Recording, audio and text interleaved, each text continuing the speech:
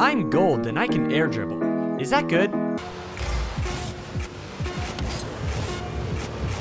Oh, oh my god! Oh my god! Oh, oh my god! Okay, okay, okay, okay, go, go, go, go.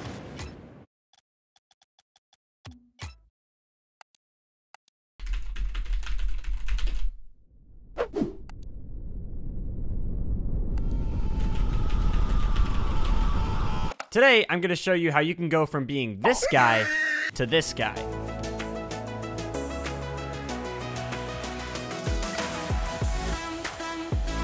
But just before the video starts, guys, today I finally announced the release of my brand new Rocket League course on Gamers Ready, the ultimate guide to teamwork in Rocket League. I've been working on this thing for the past eight months since like June of 2020, so you have no idea how excited I am. If you want to get better at Rocket League, this is for you. I know for sure, no matter what rank you are. I've already given it to some other grand champions, and they were a little hesitant at first because they weren't sure how much value they were going to get out of it, but by the end, they were just completely impressed by how much they learned. At the same time, I explain it in a way that a gold or platinum player can understand it just as well and immediately start applying it into their games. We cover everything from communication, rotation, passing, improving as a team, and everything in between. Also, the first 100 people to get the course and use code WAYTON50 will get 50% off their order. And even if you're not in the first 100, you can still use code WAYTON for 20% off. So if you're at all interested, please click the link in the description or the pinned comment. There's more info on the main page, and it would seriously mean a lot to me because I put so much work into this and I'm really happy with how it came out. But anyway, let's get back into the video.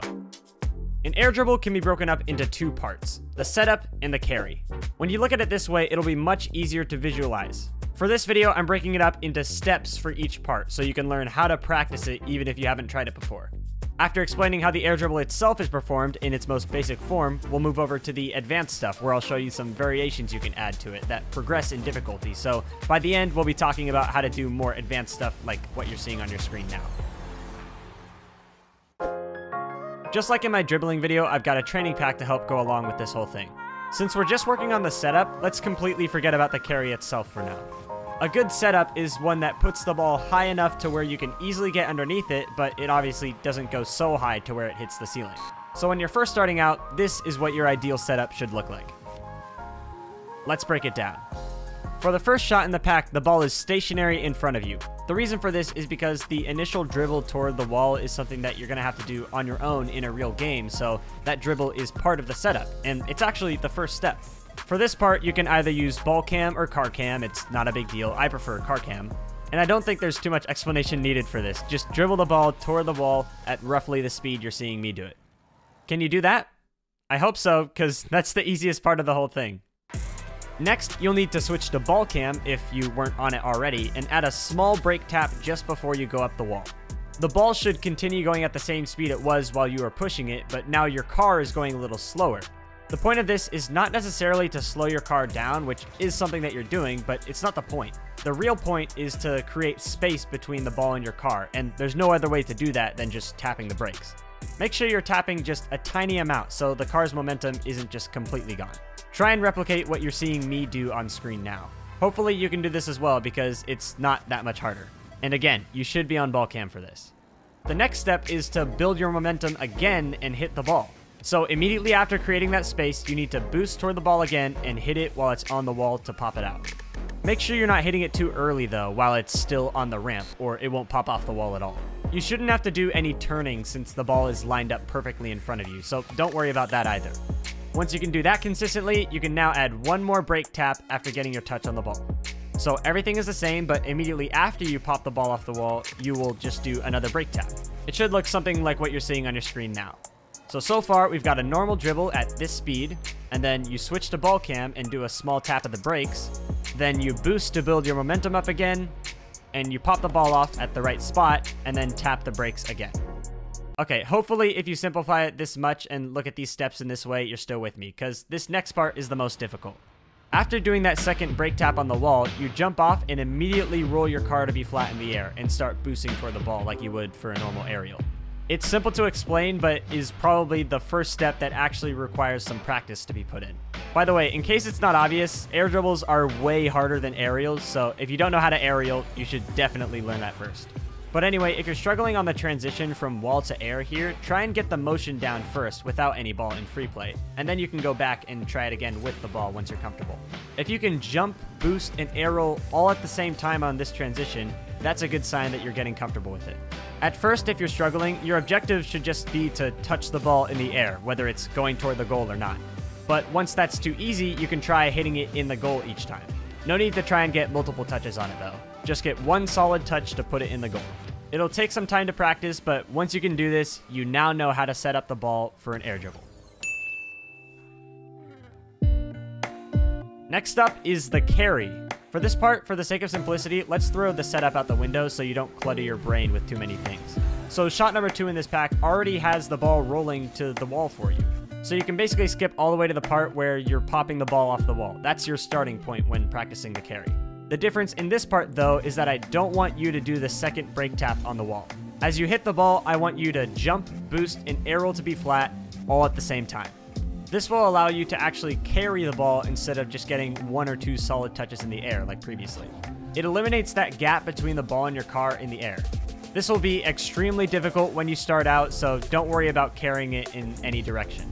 Just try and match the speed of the ball by feathering your boost and gradually pushing it in the direction you want, while also keeping it in the air for a little longer, so you're kind of hitting it at this diagonal angle. There's no specific sweet spot that works best for this every time since it varies depending on your speed, momentum, and angle, but it's something you'll get a feel for the more you practice it. Practicing the carry will take many hours to be comfortable with, so just don't worry about actually scoring it until you're ready for it. Then you can try carrying it in the specific directions you want. And in case it's not clear, don't spin around while you're doing this. Just keep everything simple and only tap air roll for a split second when necessary. Once you're comfortable with carrying the ball toward the goal somewhat consistently, you're ready to combine the setup with the carry. Combining these two parts really is as simple as it sounds. So restart the training pack and go back to shot 1 where the ball is right in front of you. This time, instead of doing the setup and then doing that second brake tap on the wall, take what you learned about the carry and apply it here too. There really aren't any tips for this part either, it just comes down to practicing it and bridging that gap between the two parts. Once you can do that, you can now successfully air dribble! Yay! Yay! Yay! Yeah! anyway, let's move on to some variations that you can do from here.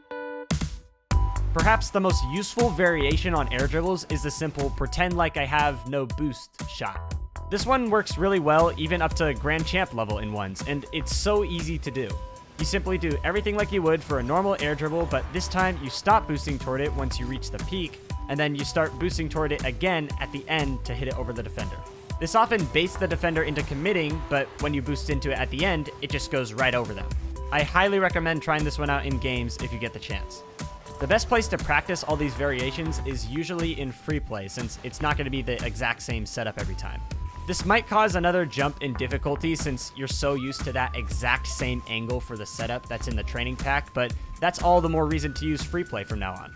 No setup will be exactly the same in a real game, so you need to get used to every little inconsistency. Another variation is the double tap. This one is pretty simple by concept as well. The idea is you carry it to the backboard and then finish it off with a final touch. The main problem that most people run into with this one is that they don't give themselves enough space to get the angle for the shot. You'll often see people do it like this, and obviously that angle they have to shoot from is way more difficult than it should be. So when you're doing this one, the main ideas are carry it higher than normal and give yourself some more space than you think you need by boosting backward more. Normally, the best scenario to go for a double tap from an air dribble is when you're starting from all the way on your defensive half so you have more space to build up that forward momentum. It just makes it easier to give yourself more space. Another variation is the air dribble bump. In its basic form, it's just an air dribble, but you fly in front of it at the end to block the defender's path to it. If you do this right, there's almost nothing the defender can do about it. It's called the unstoppable move for a reason. So it feels great when you do get it right. If you want to dive deeper into air dribble bumps, I have a video about it already, so you can check out that card in the top right. Of course, there are other variations you can add to air dribbles, like flip resets and such, but when it comes to those, it takes an entire video to explain it since it's such a complex mechanic. So that's pretty much everything I have about air dribbles. If you enjoyed, be sure to subscribe so you don't miss any more videos. Check out my course on Gamers Ready through the link in the description or pinned comment. Thanks for watching, and I'll see you later.